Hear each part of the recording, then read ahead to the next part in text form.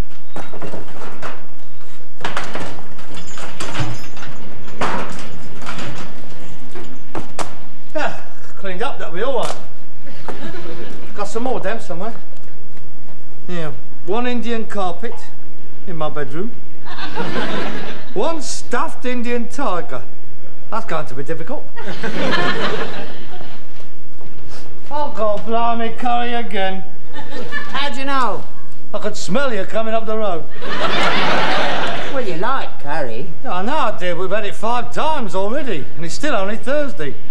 We even had it for breakfast once. Hey, look at me, I'm going brown. Good thing this weather, mate. Keeps you warm. Hey, look at that lot. Only nine and six. I don't know how he does it. Well, I do, mate. When did you last see a cat round here? Don't be disgusting. If you don't eat it, I'll eat it. I'll cook you something else. No, thank you. I don't want any more of your Jimmy Young cock-ups. What are you doing with that lot? If you must know, I'm getting some props together for the next production at the Civic Hall. Oh, good. Are they on the ear roll again? It's good publicity. We get the credit in the programme. Costumes and Properties by Steptoe and Son. Yeah.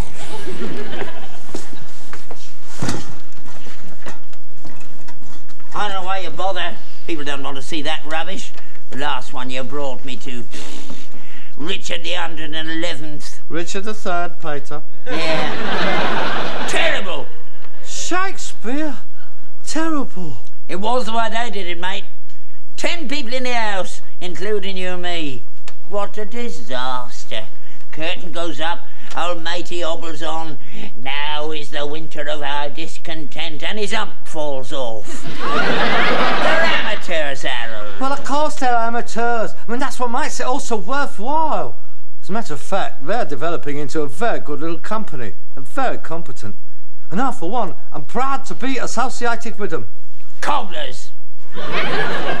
All you're interested in is knocking off the leading lady. That's got nothing to do with it. I, I admit, I do admire Madeleine Bannerman very much. But purely on an artistic level. What do they want all this stuff for? What load of old rubbish are they doing this week? We are performing a new play, especially written for us by our producer, Rupert Verfainsmuir. And we are performing it at the Civic Hall next week. We? Yes, we. I'm in it. You? On the stage? And why not? oh, stop me, don't make me laugh. oh dear, oh dear. I fail to see anything amusing. Hello, darling. Oh, hello, doll. Lovely darling. I saw your Hamlet, darling. Up yours, darling. And kiss me darling. It's not like that at all. Oh, of course it is, actors. They're all poofs. all that makeup. Love it, they do. Love it. I don't think I care to continue this discussion. Pray excuse me.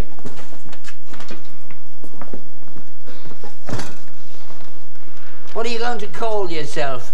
Lawrence O'Toole? now, ah, don't be silly, Harold. You can't act. It takes years. You have to go to school. Not necessarily. Lots of actors have started in rep. That's the finest training you can have. I mean, take our Richard III. He never went to drama school. He's an income tax collector. Rupert says that uh, I, I'm a natural. He's very impressed with my audition. What'd you give him? Uh, Hamlet, Shylock, Henry V? Well, no, I, I, it was all sort of thrust upon me. I, I didn't have uh, time to kind of learn anything. I was uh, scene shifting at the time, and the leading man dropped out, and uh, he was transferred to another bus depot. And I, was there, so I just got up and did it. What? Sir Marlon Brando, the taxi scene from the well, you know. Oh, Charlie, Charlie. Oh, no, Charlie. I'm your brother, Charlie. I, I could have. I was world class, Charlie. I, I, I could have been a contender, Charlie. I did for you, Charlie. I, I took a dive for you, Charlie. Oh, Charlie, Charlie, Charlie, Charlie. well, you know how it goes. And they gave you the job? Yes. Well, stuff my old boots. I thought I was very good. Rupert says I've got potential, and he's been around. He's a professional. I've seen his press clippings. Oldham, Bradford, and Barnsley. Well, if he's that good an actor, why isn't he in the West End? Oh, well, he he had to give up acting because it made him very ill. Uh, he left him with a weak bladder and he can't stay on stage for long periods. Oh, blimey, a right old goon show we're going to get here.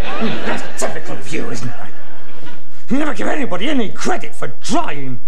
Would to get right up your nose if I was to become a star, wouldn't it? You'd like to see me get out of here, wouldn't you? Hey? See me get on and get to the top. Yeah, I've been making films all over the world. Hollywood, Madrid and Rome. Acting up against all that international crumpet. With Raquel Welch, Virna Lisi, and all the rest of them. Yeah. Irene Handl's more your mark. I should be very proud to be up against Miss Irene Handl. Because don't you make no mistake, it could happen. No, I got, I got a feeling. This, this is what I've been waiting for. I mean, I know this could happen. You see, the, one job where, where, where education don't matter. You, you don't need A levels to become an actor. I mean, for, for years I've been stuck here, not knowing which way to go and how to uh, express myself. I Never thought about acting. I mean, it happens for other people. Why not me? I'm not a bad-looking fella. And if Hollywood's got hold of me, they'd, they'd do me teeth and me nose and pin me ears back. I could look as good as any of them. Yeah. So could King Kong if they did that to him. oh, stop dreaming, Harold. It don't happen to blokes like you. It does! It's Sean Connery. He was a lorry driver. Uh, He's the same age as I am, so I've got more hair than he has. now, I didn't expect any help from you. But you'll be the first on board my yacht when it happens, won't you, eh? I've got news for you. You're barred. the minute I see you walking up the gangplank, I shall say to the captain, full steam ahead, and try and get him with the propellers. The only yacht you'll ever have is the plastic one you have in your bath. Now, I shall say. Now, if you wouldn't mind serving the dinner, I've got a lot to do. The entire cast is meeting here at 8 o'clock Eh? for the first reading of a new play by Rupert Verfaines Muir, the drama of the Northwest Frontier, entitled Up your Khyber. entitled Guilt, the White Man's Burden. And introducing ba-ba-da-ba-ba-ba, Steptoe as Lieutenant Carstairs, VC and Bar. The 1st Battalion, the Royal Indian Rifles in a Polish cavalry uniform. well, Dardanel, Tadamo knows the difference. Now, we're round here, mate. There'll be more turbans in the audience than on the stage. what do you want to hear us round here for? Because the karate club is using the hall tonight. Now, come on, hurry up. Hey, I'll get that down, you. It's chicken madras and, and mutton vindaloo. Might help you get into character.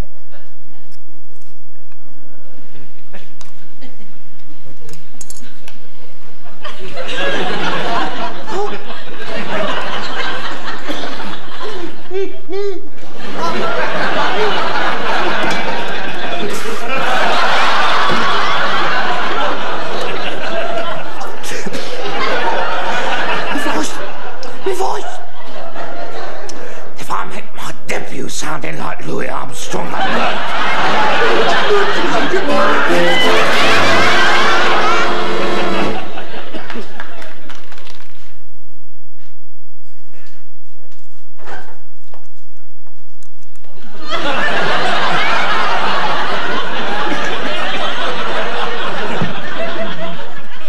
Oh, hello. Have you bought your yacht already? Haven't you gone? Oh, God. Haven't you gone out yet? To in a minute. All right. Here's ten bob. Go to the pictures. I've seen it. I can't say it again then. I don't want to. Look, Dad, to be here. Look, please, Dad, I don't ask you for much. Please go out. It's too cold. Well, go to bed then. It's too early. right. I'm warning you. This is very important to me. One word out of place, and the next item on the menu will be curried ghoulies.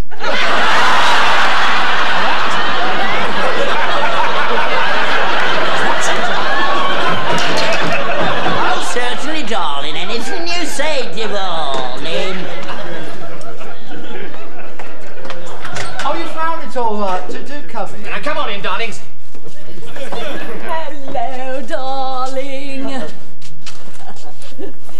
Be a darling, darling, and take my coat, darling. Yes, darling. Now, come on in, darling. There's a good girl. That's right. Now, I, I don't think you know everyone. Uh, this is this is Nemone Wagstaff, our new leading lady. Well, how'd you do? Hello, I've heard so much about you. Really? All, all, all good, I hope. Well, what happened uh, to Miss Bannerman? Ah, yes, what indeed? Oh, darling, what act? Uh, well, no, no, no, no, let, let, let, let, let me tell this. Um, uh, you know she was married, don't you? No, I did not. Uh, yes, yes, she was, she was married to Norman who works the lights. Uh, well, it was all a bit umpty, and we, we knew that something was going to happen. Anyway, you remember Jack, who played um, Jim in John Loves Jane? oh. Well, he was married to Janice, who played his mother. Anyway, it, it seems that Jack came back last night, packed his bags, and scarpered. There's an empty desk in the gas board showrooms today. He went just like that. It's scarpered with the Bannerman. Yeah, I think they've gone up and set up in production on their own. anyway, we're, we're, we're terribly lucky to have got hold of Nem- Nemone, who's, who's got tremendous experience. Really? Oh, yes, a right little pro, aren't you, darling? I should look forward to playing opposite you, Harold. I don't hope I don't let you down. I'm very inexperienced. I'm sure not in everything. Let's go to the lunch. Super, come on, we've got an awful lot to get through this evening. Oh, I say, what an absolutely super set. Straight out of Love on the Dole. This is our home. Oh, I didn't mean to be rude. May I introduce my father? Father, this is Sir Rupert Fafainsmuir, our producer. How do you do? Delighted. I'm sorry to hear about your illness. If you get caught short, the bog's outside. Nothing, nothing alcoholic, thank you. I mean, we've got an awful lot to get on with. How about some caca? Cocoa would be super, super lovely, yes. Go make some caca. Now, I want to watch. Go make some caca. With milk.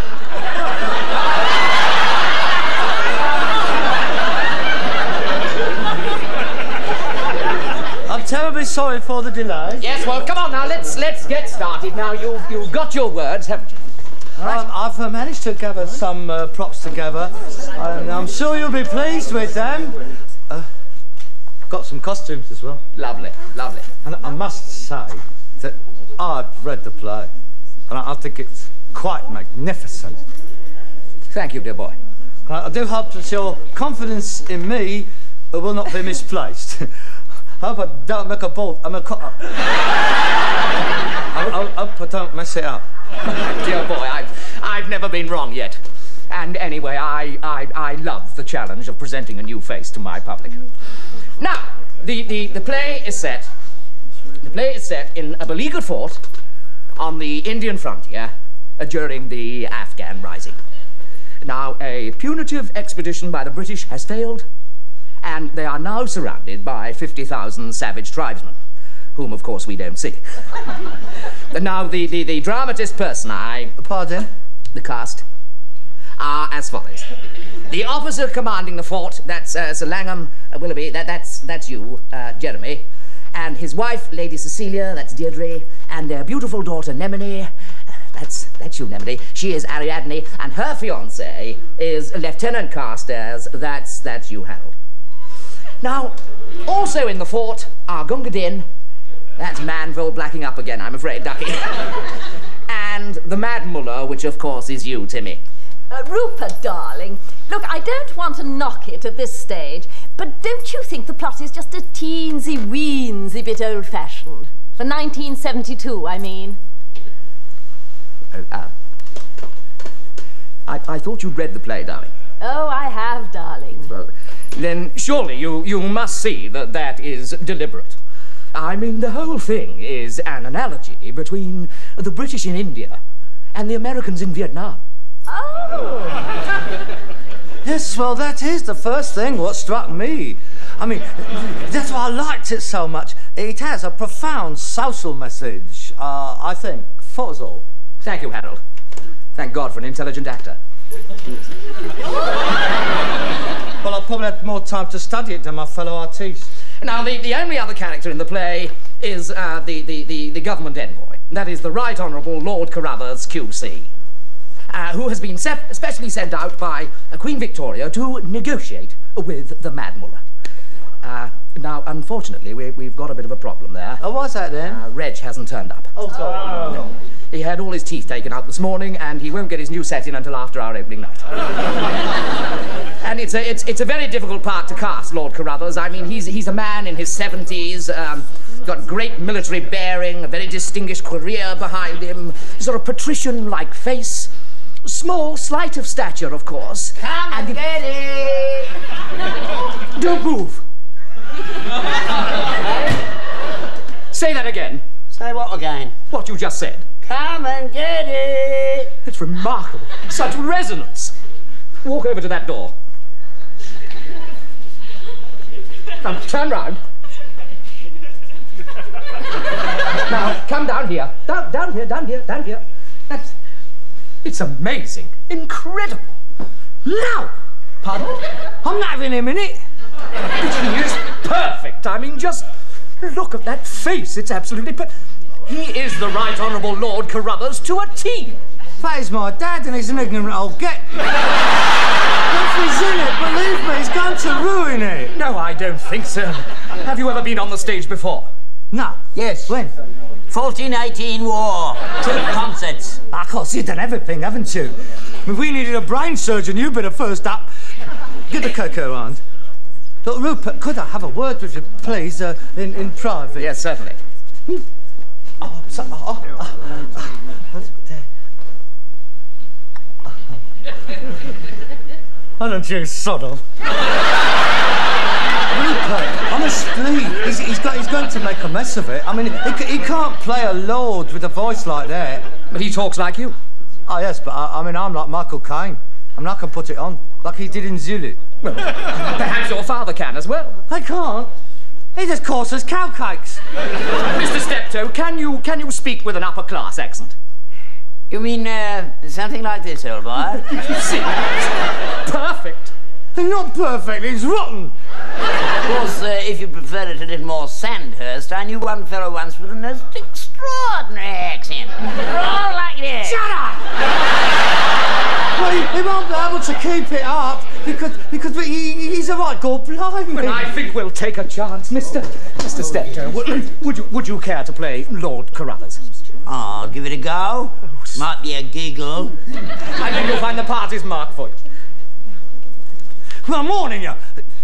Hey, he's going to make a mess of it. It's on your own heads. All right. Now we'll go from the top. Now, now, when the play begins, it is dusk. There's, there's been a lull in the fighting. All is quiet. Now, when the curtain rises, we discover Lieutenant Carstairs on the veranda with Ariadne in his arms. Over here. Right.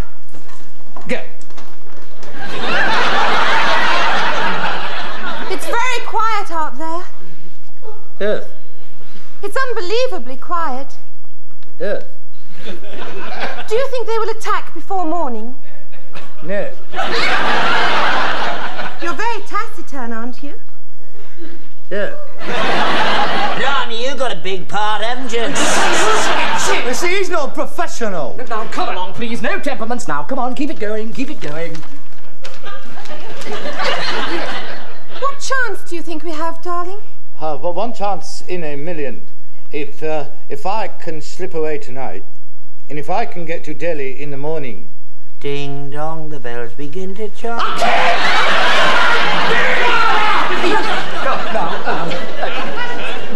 Mr. M- Mr. Steptoe, now, now, really, you're you're not giving your son a chance. Now, now, please, come on, let's let's take it seriously. All right, carry on, Harold. You're very good. Your speech, Lemony. Do you think we will get out of this alive? He won't if he don't turn it in. So, your, your father and, and, and the, oh, sorry, and the general is in the study now, uh, discussing the terms they will present to the Mad Mullah. Don't you mean the terms the Mad Mullah will present to us? Ha, ha, ha, ha, ha, ha, ha, ha. ha. I, I, I knew it was foolish to try to deceive a soldier's daughter, but believe me, Ariadne, those fiends will not take you alive. I have saved two bullets for us, and um, that's why we will always be together. My darling. Right, now the door bursts open and in strides Lord Carruthers and the General. Now, now, Lord Carruthers is very, very angry. All right, go. I won't bother about the accent yet. I'll work on that later. I am not satisfied, Willoughby. Her Majesty's government has been seriously mizzled. Misled! Oh, oh, sorry. Misled. But needless to say, Yes, I told you he's going to spoil it. It's, it's, it's, it's, it's, all right. It's, it's, it's all right. Go, go on, go on. needless to say, I have a plan. I bring a sausage from Her Majesty. Put your bleeding glasses on! Oh, no, Rupert. Could, couldn't we rewrite it? I mean, could, couldn't we have him stand at the French windows and get killed by a stray bullet? No, no, no, no, no, no, no. Please carry on.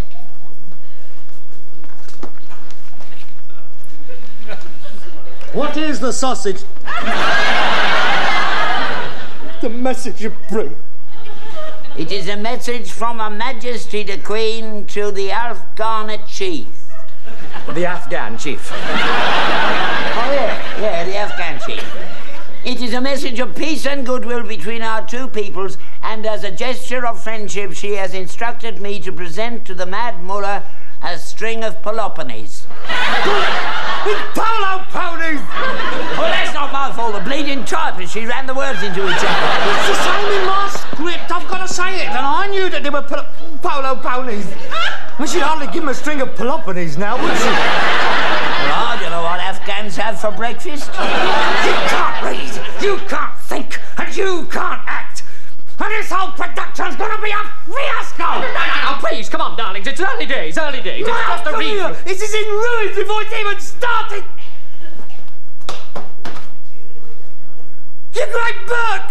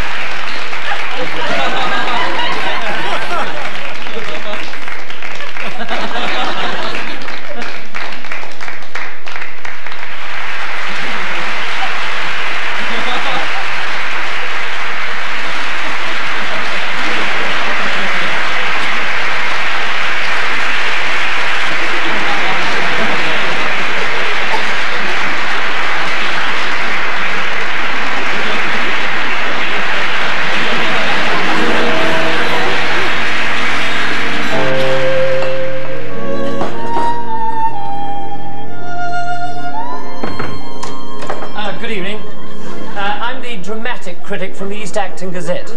Oh, do come in. Would you like a drink? Uh, no, thanks. I've got one next door. Your father sent me in to see if you'd uh, join in with the celebrations. No. If you'll excuse me, I've got a bit of an headache. It's, it's a very demanding part. I'm quite exhausted. Yes, of course. Enjoyed the show very much. Oh, uh, there's just one thing you said in the third act that confused me. What, what exactly is a paloply?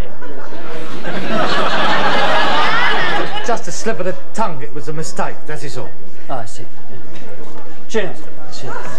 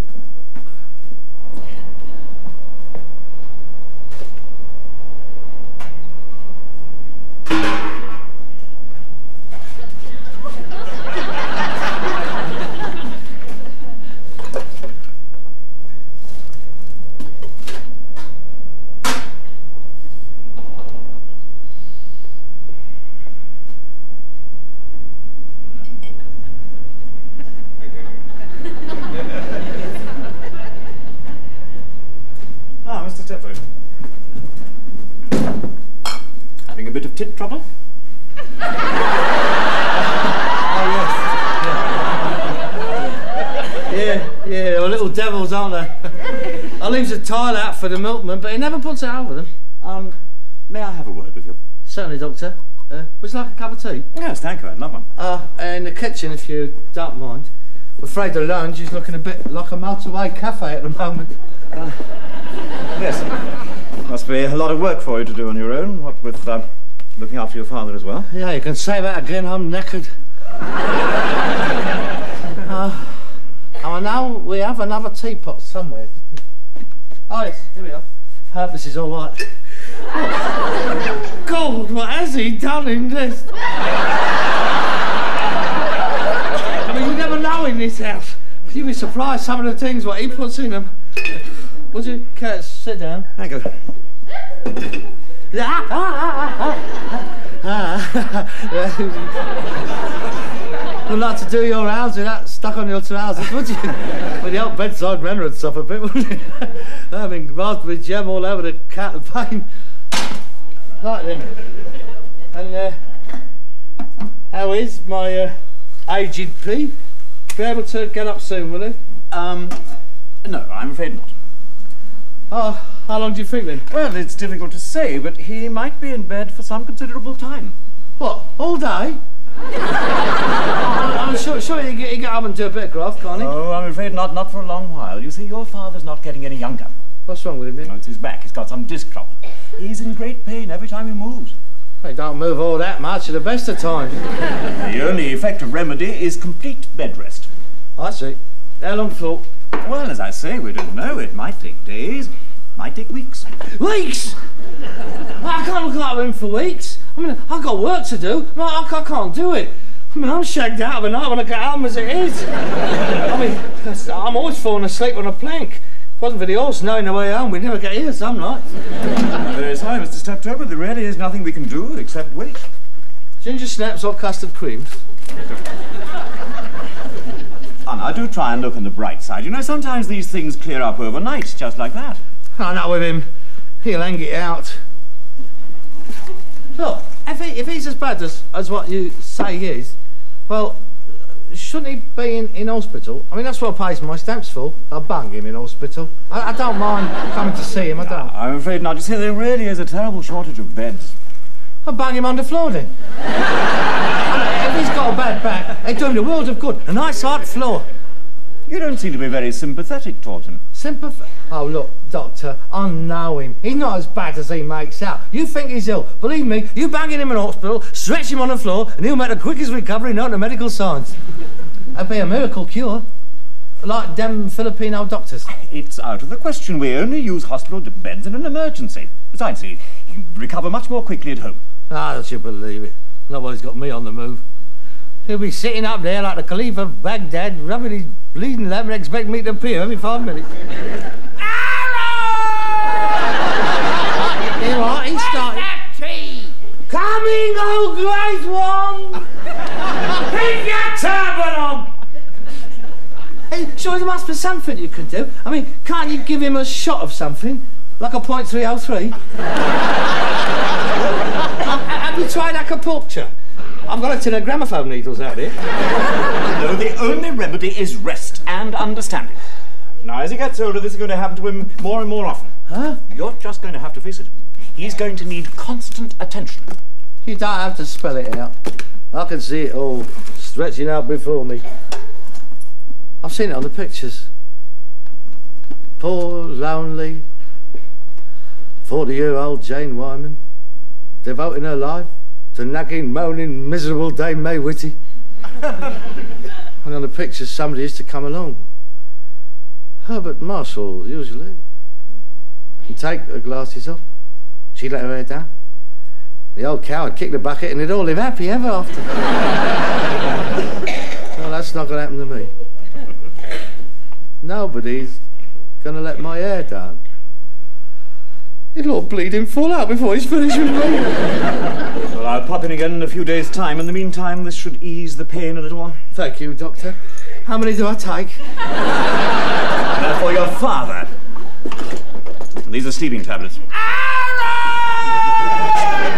Where's that key? You better give me some more. These won't last long. I'll leave it to you to it then. Goodbye, Doc. And I'll call in again on Friday. Yes, well, if I can drag myself to the door, I shall let you in.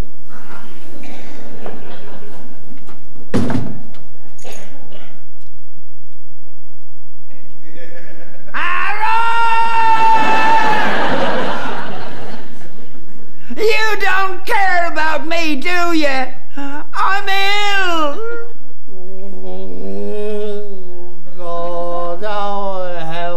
Helping I hope for years to come. A shelter from the stormy blast and crutch to lean upon. Hello? Room service.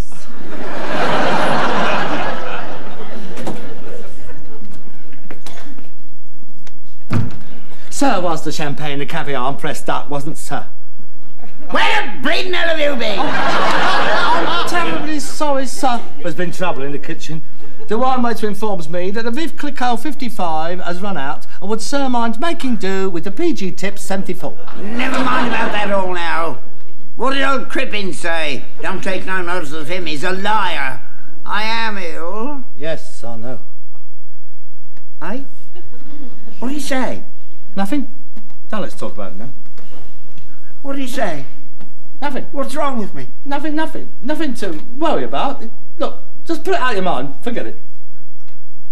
You've had a good life. That's the main thing. You're hiding something from me. What's wrong with me? Don't think of the future, Dad. Think of the past. All those carefree, golden days of your youth. The long, hot summers, walking through the meadows, hand in hand, a pretty girl on your arm. The butterflies, the babbling brook, oh, the scent of new mown hay. Those smocked farmers drinking from their jugs of cider as they lean on their pitchforks, taking a well-earned rest. The ploughman... What's wrong with me? You're dying! I'm not I'm not dying. I've got a bad back. I'm sorry, Dad. I, I didn't mean to be the first to tell you. I, I didn't mean to let it out. Drink your tea quickly.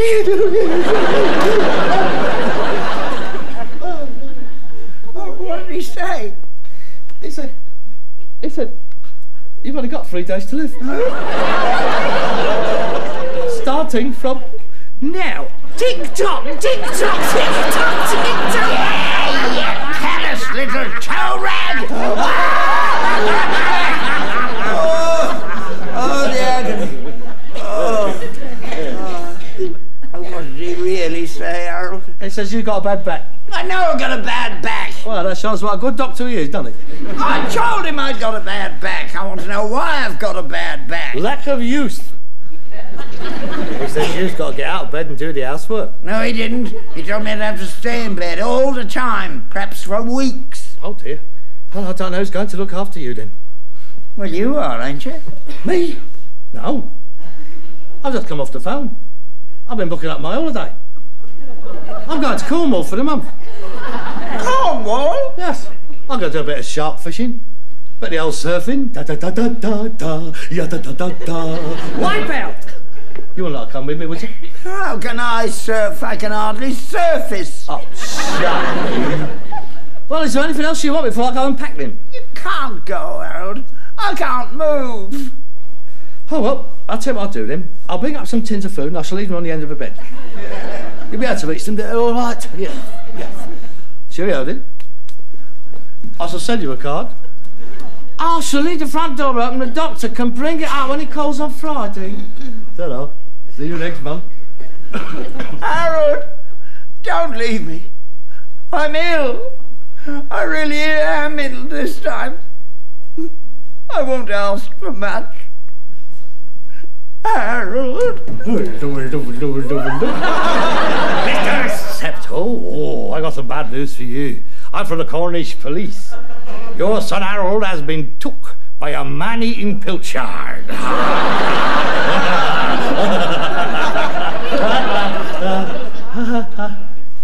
I might as well have been. I'm going to be eaten by a little sprat now, anyway. Come on. Drink your tea. Thanks, Harold. I won't be a burden to you, honestly. I know you've a lot to do. I know it's going to be hard on you, but I'm not skiving. Honest, I'm not. I know that. I was, I was just mucking about. Just getting a few laughs in before it all turns sour. Your pillow's all right. What What else did he say? Well, nothing more than what he told you. You've got some disc trouble in your back. You've got to stay in bed till he gets better. Well, how are you going to manage? I don't know. Well, we'll manage. We always do. You're a good boy, Harold. I appreciate it. Really, I do. Is there anything I can get you? No, I don't want anything. I don't want to bother you. That's all right. I, I don't mind. What do you want? No, I don't want to be any trouble. I don't mind. What do you want? I wouldn't mind another cup of tea. That one's cold. Another tea. Fine. And Harold, Yes, Dad. have the papers come? Yes, Dad. Could you bring them up with you? Yes, Dad. Oh, and Harold! Yes, Dad. Do you think you could make a little sandwich? Yes, Dad. Uh, what do you want? Oh, I don't mind. Anything. Uh, let's see. Uh, corned beef. No, Uh, cheese and tomato. no. Uh, peanut butter and pickle. well, what do you want then? Oh, anything. I don't mind. I could go a nice sausage sandwich. We got no sausages. Couldn't you go out and get some then? No, we got... Yes, yes, right. I'll go and get some sausages then. Owen. Harold! Yes? Harold, Yes? I want to go to the lavatory. Well, I can't do that for you. I'll get you a milk bottle. That's no good. Oh, God! We ain't got a bedpan! All right, I know. I'll, I'll go out and get one. No, I can't use them. Never could use them. You'll have to carry me Carry you. there and back. There.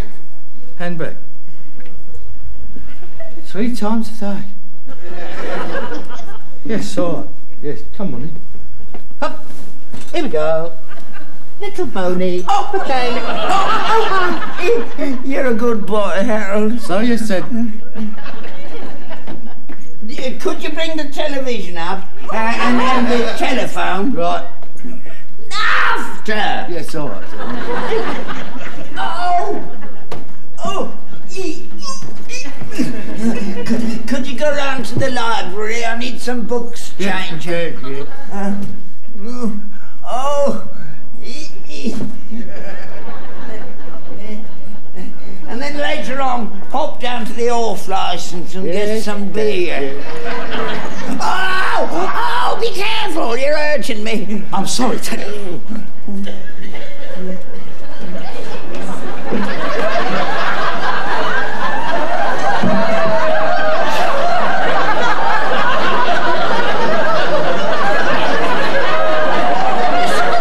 This is very embarrassing to me, Harold. It ain't doing me no favours, neither.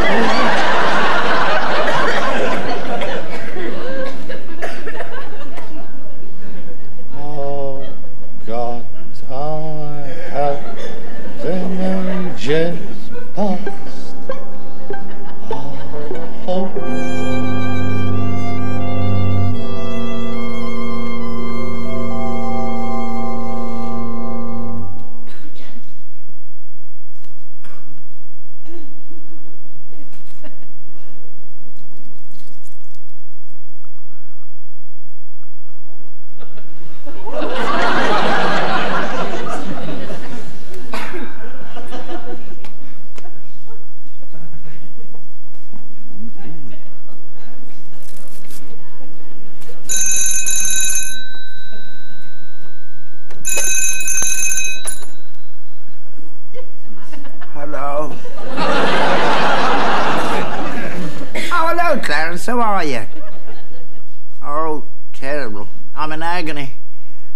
time I move.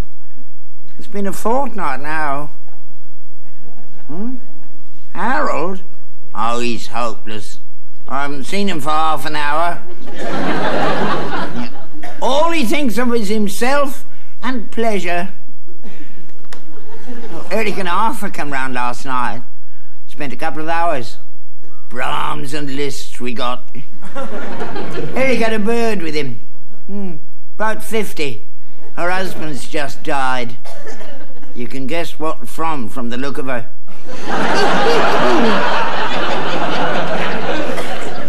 She's promised to come round sometime and duff up me pillows. Huh? Where's my back? No chance. Oh well. Cheerio. Seeing you.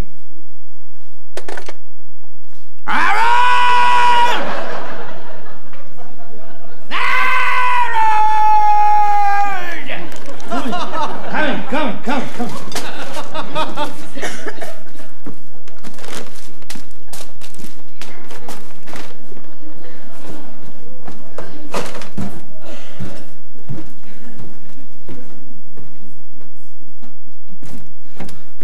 Dad. I just come in from shopping. What, what do you want? Racing at Kempton Park. That's all. I'll shout when I want you.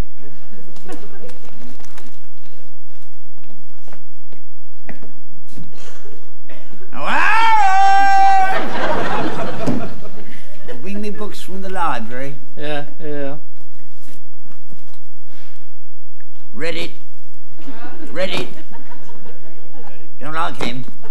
Ready. That was a waste of time, wasn't it? I've nothing to read now. Got some more to don't close yet. Yeah, well, take that tray down with you. I hate the smell of old food hanging about. Did you like the steak? Is that what it was? Terrible. Old gristle and garlic. You know I don't like garlic. I thought it would bring out the flavour. Well, it didn't. And it was fried. You know I like it grilled. Well, the grill's broken. Well, you can mend it, can't you? You're not hopeless, are you? And the peas were like bullets. If that's the best you can do, don't. I'd sooner starve. I'm sorry, Dad. I'll do better tonight. I got a nice bit of fish. I don't like fish. what is it? Uh, place. Didn't they have no Dover sole? They're about 30 bob a time. If I'm not worth 30 bob when I'm ill, I'll make do with the place. Right, I'll get you a Dover sole then. And Harold! now what? Did you go out in the rounds today? No, no, I didn't. Why not? Because, if you recall, I've been down the library, round the fish shop, up the off licence twice, round the chemist, round the grocer's, and in between I've been up and down them stairs 23 times. And I'm not going out again Why? to get an hundred yards of rope. What for? I'm going to make a noose out of one end and put it round my neck. I'm going to put the other end in your end. And I would be grateful if in future you don't shout. Just pull. and I shall know you want me. Might even help me get up the stairs quicker. Believe me, them stairs, if you begin to look like the north face of the Eiger. Ah, I see. It's wearing off, is it? I'm becoming a burden, am I? No right whatever the bigger one! But rest assured, I shall carry out my filial duties. And now, if you could please refrain from wanting anything for the next 15 minutes, I'm going to put my feet in water. Right.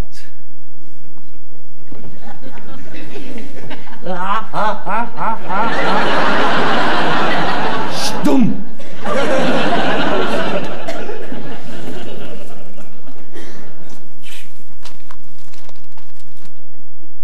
Yes, I turned the volume on. I can't hear a thing.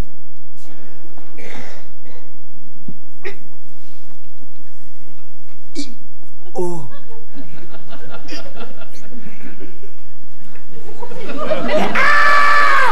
아! 아!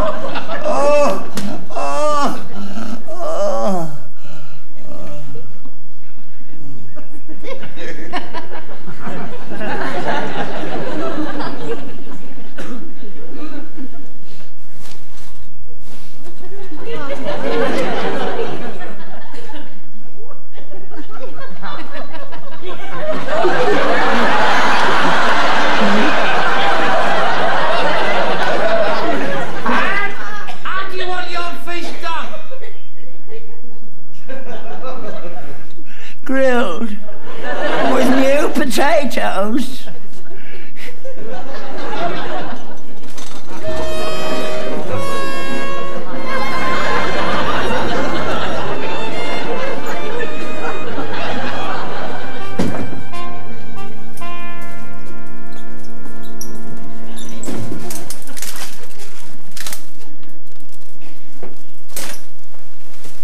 That's it. That old cloth not again. That's fine. Mm, I love them, I love them, I love them. Tabanoghi. Such a lovely ogie. Good. Tuesday. God,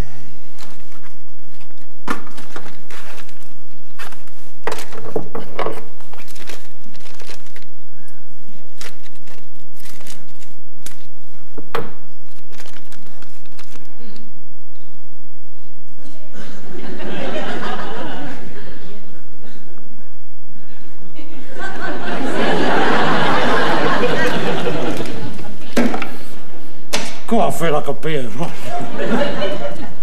oh, what's his life? A full cow. We has no time to stand and stare. No time to see a beauty's glance and watch her feet, how they can dance. That's funny. There was two cans of lager in here this morning.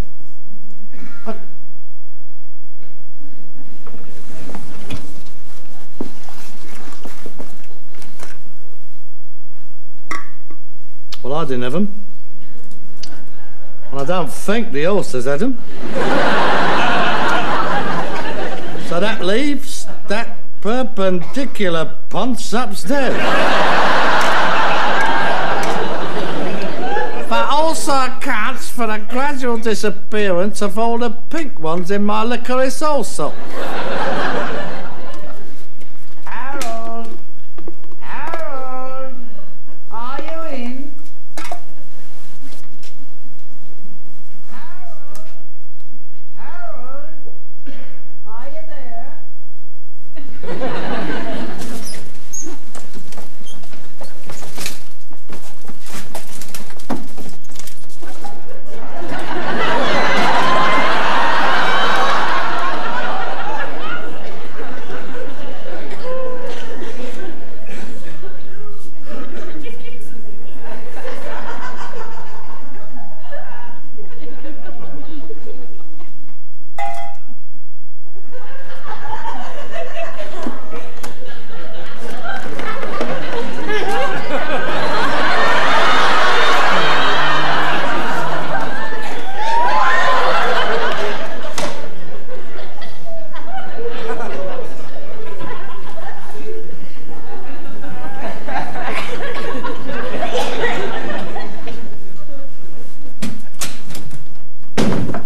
What kind of fool am I?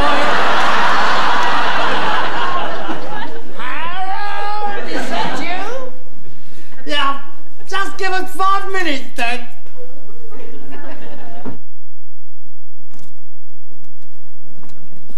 How are you feeling, Dad? Oh, not so good. It's getting worse. I think I'm going to be up here for quite a while yet. Oh, I am sorry. Oh, this'll help you make you feel better.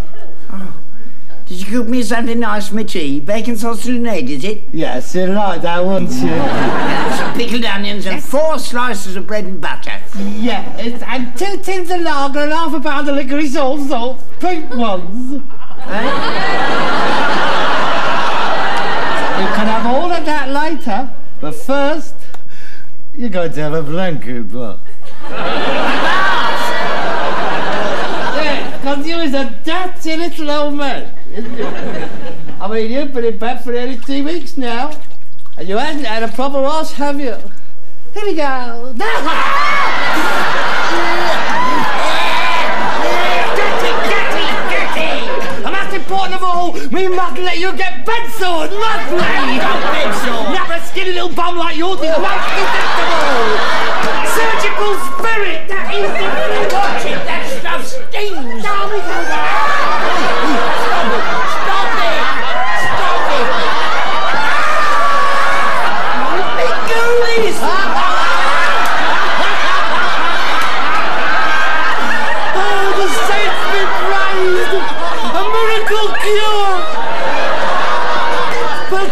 goes into a grotto. A grotty grotto. Hey, you rotten bleeder!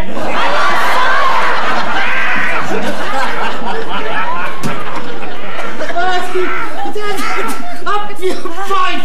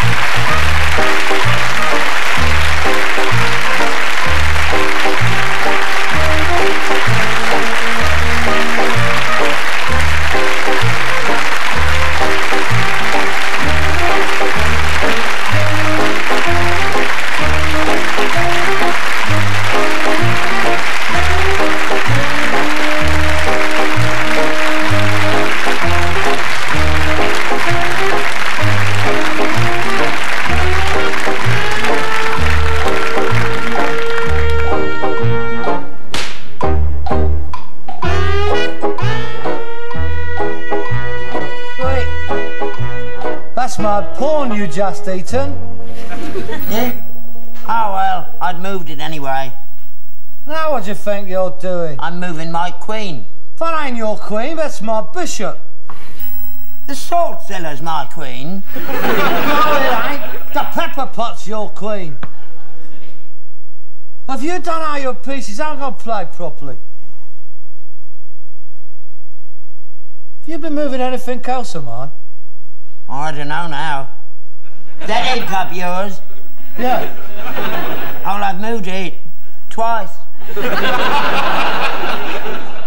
That's my king's rook, that is. Oh, that's it, isn't it? I mean, that's cocked up my Sicilian defence. I wasted the time carrying on. I mean, I was trying out Novochensky's opening gambit from the World Championships. No wonder it won't coming off. Oh, look, we've got to get a proper set if we're going to play properly. All right, set him up again. We'll give it another go.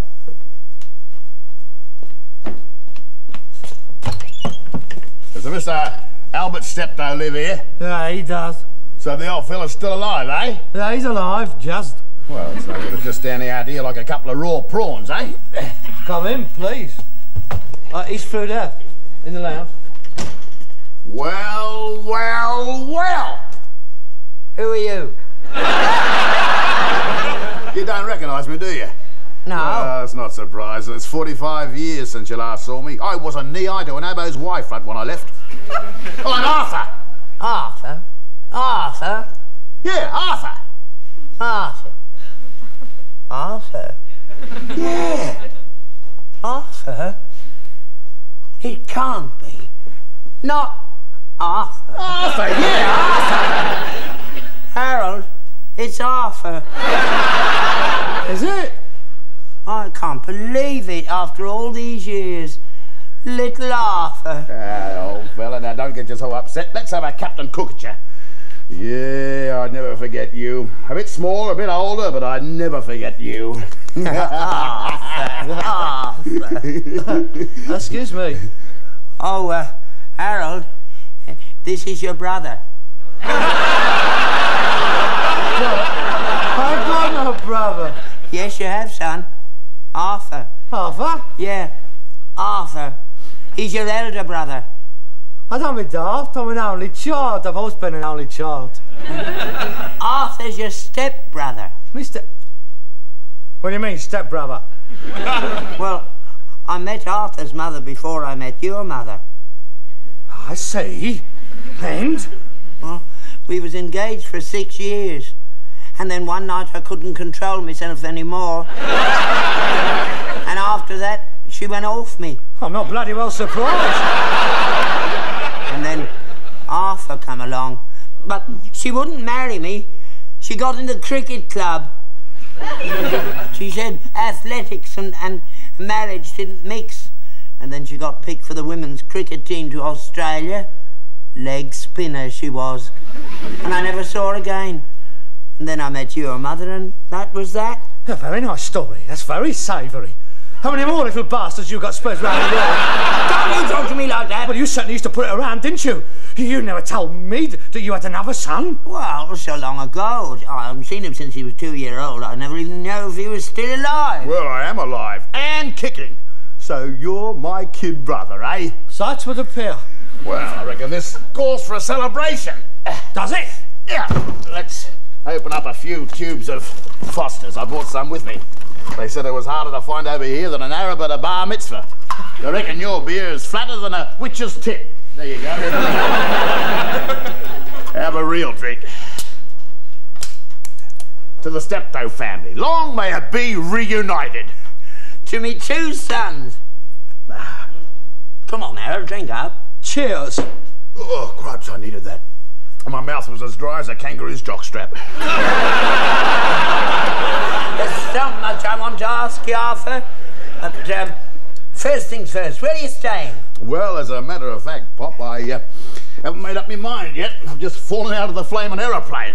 But I understand there's millions of doss houses up around the Earl's Court, so I suppose I'll make my way up there. And... No, you don't want to do that. Why not? You can stay here with us. We ain't got no room. Of course we have. We make room. You don't want your brother staying with strangers. He's only arrived all the way from Australia. You can have Harold's room. Hey, wait a minute. Harold can put up a bed down here for the time being. Down here? That's very decent of you, Harold. I'm obliged to you. But, but, but Well, that's settled in. Ah, very nice. Oh, I must say, it's great to be back in the old country again. I can't tell you, Dad, what it means to me to meet you again. And young Harold, a fine boy. Yeah, a man needs roots. Roots, you're not stopping it. I mean, long. I mean, it is a holiday. Well, as a matter of fact, I'm thinking of settling down here for good. I've been about a bit, you know. I've done a bit just about everything. Cattle droving, sheep shearing, walkabout, gold mining, pearl fishing. Oh, how marvellous. Yes, much better than it is over here. You'll be bored to tears here. All we got here is the bingo and the telly. yeah, it's rotten when the rainy season starts and all. Rain, love it, love it. When you've spent as long as I have in the outback, you've no idea how beautiful a drop of rain is. No, no, I'm getting a bit too long in the tooth for gallivanting. I think it's time for me to settle right down. And where better than in good old Pommy land with your old dad and your kid brother. Excuse me. How long are you going to keep my taxi waiting out here? Damn the flaming crows, I forgot all about you. Five pound ten, please. Five pound ten? Five pound ten. And I turned the clock off when you got out of the cab. Yeah, maybe you did, but I think you turned the bastard on when I left Melbourne. It's still Five pound ten. What, to drive me from London Airport? I'm not a flaming darky, you know. It's still five pound ten. Five pound ten. Um, Harold, I don't seem to have any pommy money on me. I wonder if you'd mind paying Ned Kelly here. What, five pound ten? Yeah, give the man the money, eh, Harold. Arthur'll give it back to you. Too right, as soon as I've cashed me traveller's checks. Of course he will. Oh, it's marvellous to see you again, Arthur. How's your mother? Ah, but very sad. Sorry to say the old woman passed on last month. Oh dear. Oh, I'm I'm I'm very sorry. Yeah, it came as a great shock. Never been crook in her life. Active right up to the last. What happened to her? Keeled over with a half-shaved merino ram between her legs. New South Wales shearing championships it was. She would have won too. 39 seconds left and she only had the back legs to go. oh, great tragedy. Yeah. Yeah, she was onto a whole carton of Swan Lager too. Not that that would have lasted long, you understand. here, you want another? Right, and I'll go in here. Did she ever uh, marry? Oh, no, no, not her. She shacked up for a while with an eye-tie plonk grower, but uh, uh, he used to beat the bejesus out of her. And one night he come home, real Adrian Quist he was. She bashed him over the head with a bottle of his uh, Vino Redo. She loaded up the Ford and we didn't stop for 300 miles.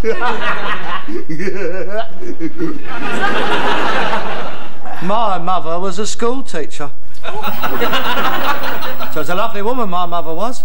I don't believe a drop of alcohol ever passed her lips, did it, Father? Oh, no, not your mother. Salvation Army she was. Yeah, that's right. Very pious lady. yeah? Oh, it's strange how a fella can have two Sheilas so different, eh? Oh, it's very amusing. Yeah. Well, well, now that you're home, Arthur, we'd better start making plans for your future. What plans? Well, now he's come to stay with us, he'd have to think about work, won't he? Work? Oh yeah, what good idea. I'll take you down to the Labour Exchange first thing in the morning. They're digging a new tube across London and I know they uses a lot of Commonwealth labour. No, wait a minute.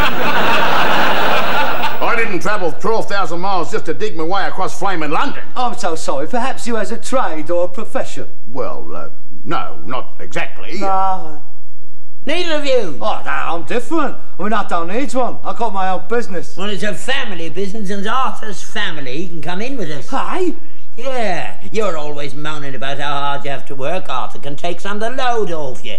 I'll make him a partner. That's a very generous offer which I'm delighted to accept, Pop. Wait a minute, wait a minute. No, no, no. I've sweated my guts out building up this business. I'm not going to stand by and watch a perfect stranger walking in. Not a perfect stranger. He is to me. He isn't to me, he's my son. Yeah. Me elder son. No, no. Leave him, leave him be, Pop. Leave him be. He'll get over it.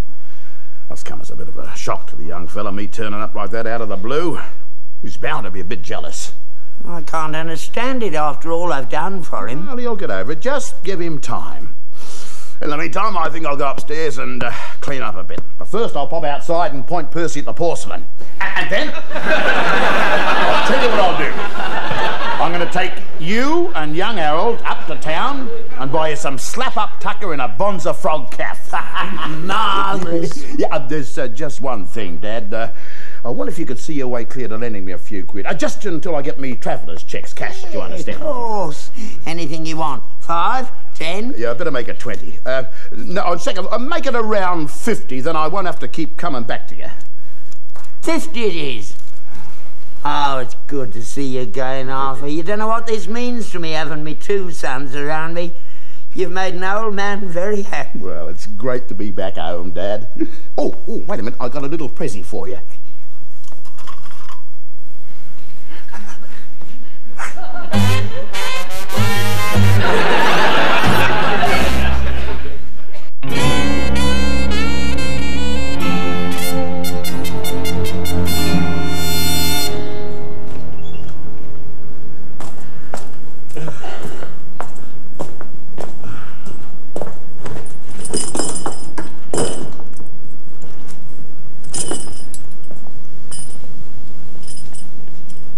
So it's official then, is it? He's rowed himself in.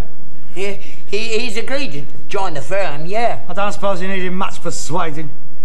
Well, I can't understand you taking this attitude. Why are you so bitter against him? He is your brother. How do you know? You've never seen him before. I mean, a middle-aged out-of-work Australian turns up here. You've never seen him. It could be anybody. He says he's your son and you believe him. You're so gullible. Oh, he's my son, all right. All them photographs he showed me of me and him and his mother and the things he told me he could never have known of yet. Oh, he's me son, all right. He's got my ears and me nose. and your money. Where is he now? He's up in bed. I just took his breakfast up. See? You never brought me my breakfast up in my life. It's another thing. It makes me sick to see the way you runs round after him. I don't run round after him. Get him up then. If he's a partner, let him do his full share. He can't. He's not well. It's our weather, playing up his old war wound. Oh, he's got a war wound too, has he? He runs in the family, don't he? Nobody else can do any work around here except me. He was a prisoner of war of the Japanese. Nobody were bleeding glad to get rid of him, and all. he certainly ain't seen the rising sun since he's been here. You're very bitter, Harold. It's not like you. It is like me. You don't know me, do you, eh? Forty years you've had me, four days you've had him, and you knows him better than you knows me. Sitting up all night, yarning with him and laughing with him, I've heard ya, and buying him drinks. That's another thing. He's soon got used to our rotten beer, hasn't he? You know what, I'm jealous, I'm bitter, I am resentful.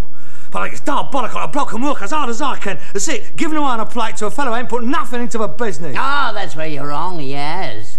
He's put up his shares in lieu of capital. His shares, what shares? He's invested all his money in an Australian nickel mine. You've heard of Poseidon? Has he got shares in that? No, the one next door to it.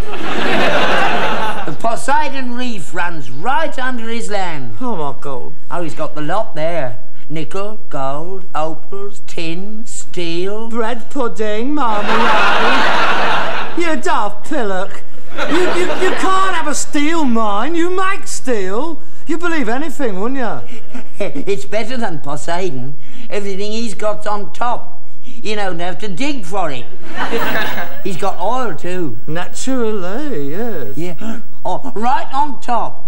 He reckons if you walk across his land in a pair of spiked boots, you'll leave a trail of little gushers behind you. And you believe all this? Of course I do. He told me. That is a con man. He's a nebbish. He's a ponce. You don't like him, do you? No, I don't like him. He'll never give me no boomerang. It makes me sick to see the way you've been taken in by him. You ain't got time for me anymore. Oh, that's not true. It is true. In the way you run drone after him. You think the sun shines out of his ear holes? if that's all exists, I, I, I, I, don't exist anymore. Oh, no. It's, it's only natural that a man should have some affection for his firstborn. Right. Well, you favour him if you want to, but I'm warning you, I'm not going to stand by and see everything that I've worked for handed on a plate to one of your illegitimate sprogs. There's enough for all of us. Where? Oh, show me, where? Now how many more's going to turn up once the word gets around? None. There's only you and Arthur. I mean, you side more bleeding offsprings than an Aberdeen Angus, you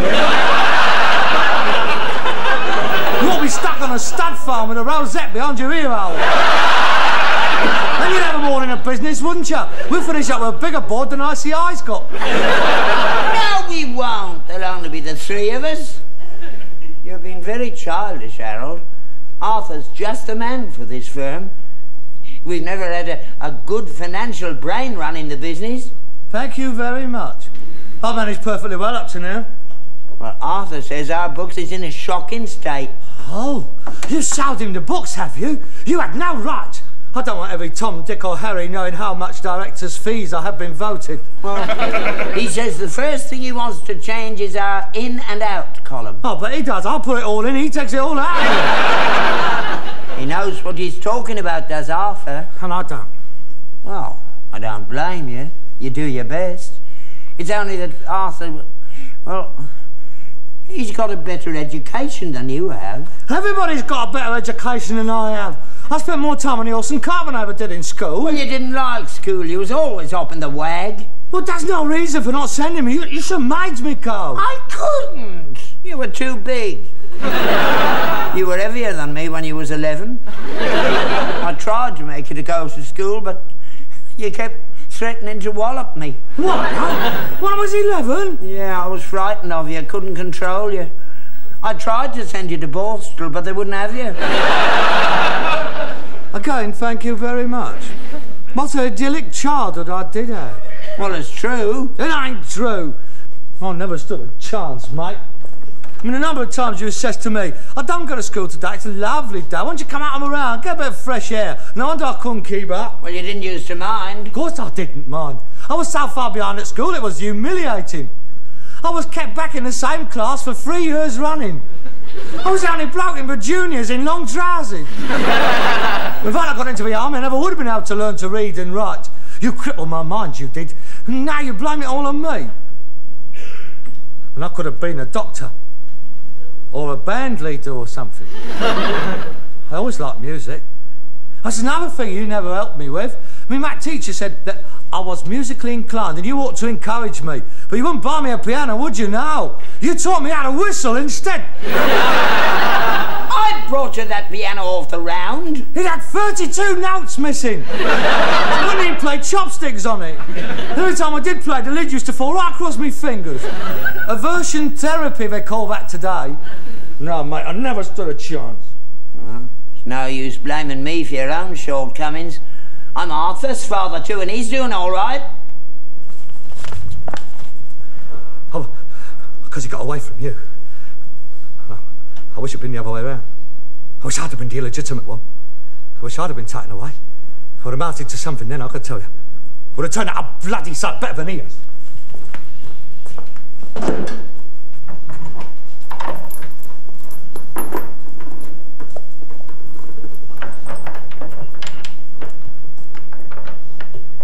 I never knew you wanted to be a band leader. You never bothered to find out, did you? Eh? That's another thing I can't forgive. Because you just wasn't interested. You were more concerned with yourself than you was with my future. And now what little bit I've managed to build up for myself, you want me to share it with someone else. Well, it's not on, Dad. You're going to have to choose. It's either me or him. Oh, that's not fair, Harold. You can't ask a man to choose between his sons just like that. That's okay. It's dead simple. Either he goes or I goes. Make up your mind. I can't, Harold. Right, that's it. Then I'm... Harold! No, no, I should have gone years ago. I had to stay here and look after you. Well, it's different now. It's his turn. It's all changed. Forty years I've had you. It's his go. And God help you, mate.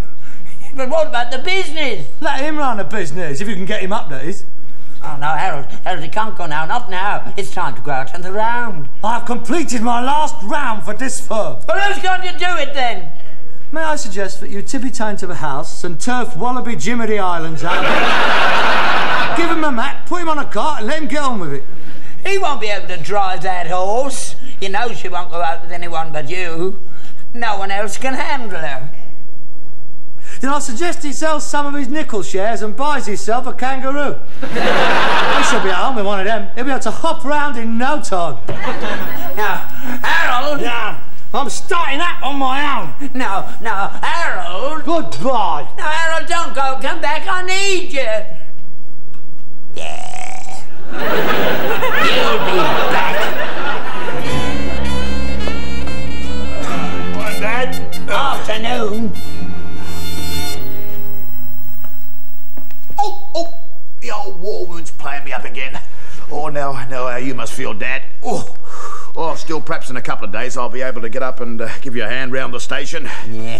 Third time. Yeah, well, I've been uh, going through the books again, Dad. I haven't just been laying up there scratching me kaboony, you know. and I've come up with one or two ideas. Now, it seems we give young Harold ten shillings a day for his lunch. Now, I reckon if we give him sandwiches instead, that would be a net saving of about... He's oh, gone. gone? Gone where? He's walked out. Oh, that is a blow. Still, he'll be back when his gut starts rumbling. Uh, in the meantime, Dad, I wonder if you could see your way clear to lending me another fiver. There's a horse running at Kempton Park this Yeah, and there's another one out in the stable raring to go as well. Get your clothes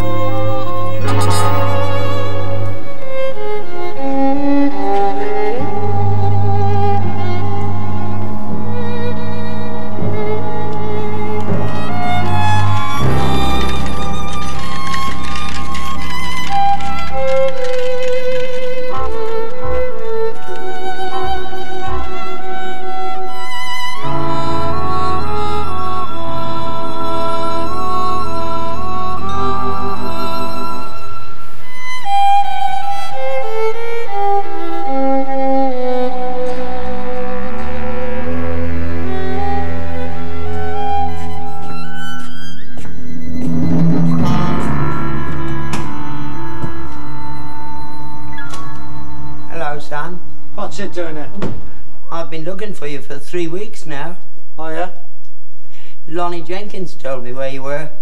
Uh, the landlady let me in. I'll, I'll put a shilling in. There is no need to, thank you very much. I'm quite capable of taking care of my own eating. Well, what brings you in this neck of the woods then? Well, I was worried about you. Haven't heard from you, and I was wondering how you were getting along. Oh, quite well, thank you. I do very nicely. You staying on here then? Oh, good heavens, no. This is only temporary accommodation. They'll find something more suitable. Now, I've seen a very nice little mews cottage what I'm thinking of renting.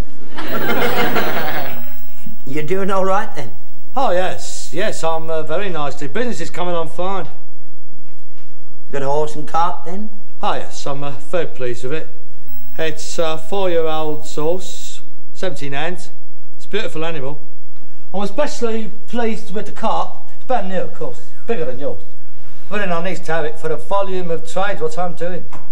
Oh, good.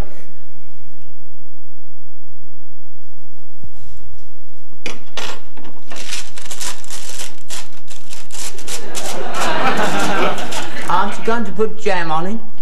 You always like jam on it. I ain't got no jam. So I'm on a diet, so I could give nut jam. Yeah, I mean, we, we, we eat too much, we businessmen. We're digging our graves with our own teeth, as my specialist puts it. Harold, Yeah? come on, Harold, please. I've been through all that before. I don't see the advantage of discussing it anymore. I need you, Harold. The, the, the business needs you. Oh, I'm sure your new business manager can look after it perfectly well. He's gone. You go. Where? Hopped it. Back to Australia, I think. You were right, Harold. He, he was a, a ponce, a lazy, no good con. I told you, a bloke like him, he wouldn't take me horse and cart out. oh, he took it out all right. It's the trouble he didn't bring it back. Flogged it. Never seen him since. Swine. No, well, what to expect? They're not all like me, you know. What to do? I've only got a horse and cart now. Please, Harold, come back. I, I can't manage on my own. I don't know about that. Uh, I would like to help you, really, I would. But it's, it's going to be very difficult. I mean, I've got a whole yard full of people depending upon me now. Of course, I, I, I wouldn't ask you to close up just like that. I, I thought we might come to a business arrangement, put it on a proper business footing, a merger between your firm and mine. We could call it Steptoe and Steptoe. A reverse takeover, you mean? Yes, it's uh, quite a common arrangement when a small, thriving firm like mine appears to merge with a larger firm, but in effect takes it over. Yeah, that's very interesting, I must admit. I suppose we could enter into exploratory dialogue. Mind you, the assets of the both companies have to be fully analysed. I don't... That didn't last long, did it? She's got that well rigged. I ain't got no more shillings. Yeah, I only carry notes with me, you see. Difficult. I'll tell you what, Harold. Why don't we carry on our explanatory dialogue back home? The fire's in. I banked it up before I left. Oh, well, of course. I, I, I mean, psychologically, I will be at a disadvantage talking to you on your home ground. I got steak and kidney pie in the oven, I know. Have you? and sherry trifle, and, and, and, and jam. Jam. I got jam too. Oh, yeah. Oh, well, I suppose the venue of the talks doesn't necessarily affect the outcome. Yes, I will concede the point. Right, shall we go now? You do realise these is only exploratory talks? Oh, of course. But come on, what are we waiting for, Dennis?